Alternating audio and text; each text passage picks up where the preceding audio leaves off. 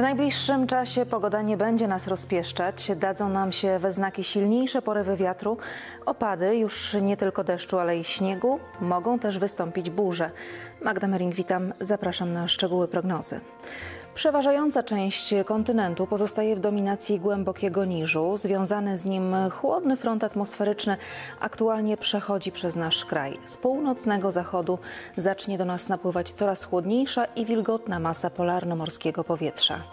Jutro centrum niżu odsuwać się będzie na wschód, ale na początku tygodnia wejdzie do nas kolejny, który już uformował się w rejonie Morza Labradorskiego i dość szybko podąża w naszym kierunku. W nocy przeważać będzie duże zachmurzenie z większymi przejaśnieniami. Przelotnie popada deszcz lub deszcz ze śniegiem, a w strefie brzegowej mogą wystąpić burze.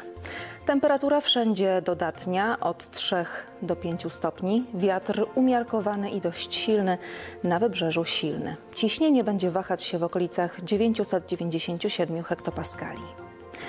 Poniedziałek czeka nas kontynuacja pochmurnej aury z przelotnymi opadami deszczu, lokalnie deszczu ze śniegiem. Na północy regionu może jeszcze zagrzmieć. Termometry wskażą 5-6 stopni. Nadal dokuczać nam będą silniejsze porywy wiatru do 60 km na godzinę.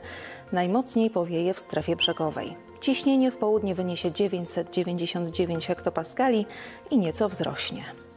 Bałtyk wciąż niespokojny. Spodziewany jest zachodni i południowo-zachodni wiatr do 8 stopni w skali Beauforta, zarówno w nocy, jak i w ciągu dnia oraz wysoki stan morza.